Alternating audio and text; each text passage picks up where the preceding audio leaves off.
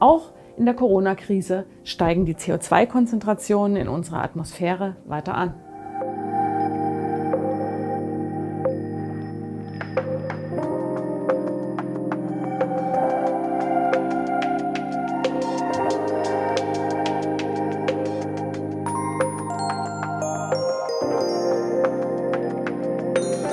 Eine volle Badewanne ist ein anschauliches Bild für das CO2 in unserer Atmosphäre. Solange wir einlaufen lassen, erhöht sich der Stand.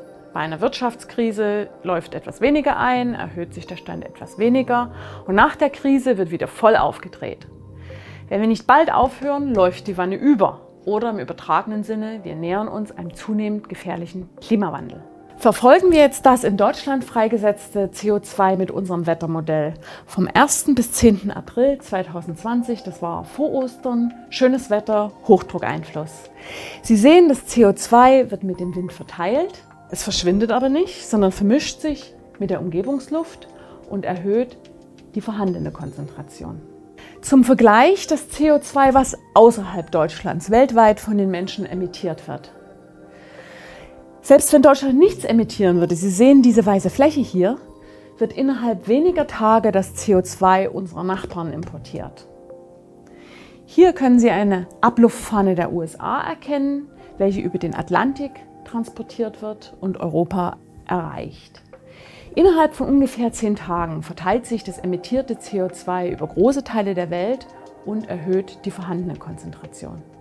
Direkt in den großen Städten ist die Emissionsminderung durch Corona-Lockdown durchaus nachweisbar.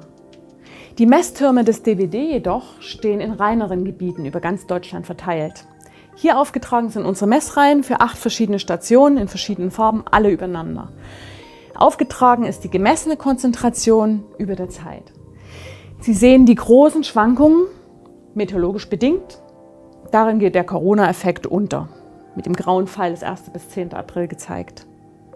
Gut erkennen können Sie im Mittel den Jahresgang. Das ist der natürliche Kohlenstoffkreislauf zwischen Pflanzen, Boden und Atmosphäre. Den menschengemachten CO2-Anstieg erkennt man am besten in den Messreihen der Bergstationen, wie Zugspitze in den Alpen oder Mauna Loa auf Hawaii, wo schon seit den 50er Jahren gemessen wird. Die Bergstationen stehen weit entfernt von den CO2-Quellen und messen den CO2-Hintergrund. Sie sehen, abgesehen vom Jahresgang ist der CO2-Hintergrund beständig angestiegen, hauptsächlich durch die weltweite Nutzung von fossilen Energieträgern wie Kohle und Erdöl. Weil das CO2 so langlebig ist, reichert es sich über die Jahrhunderte in der Atmosphäre an und verursacht Klimawandel.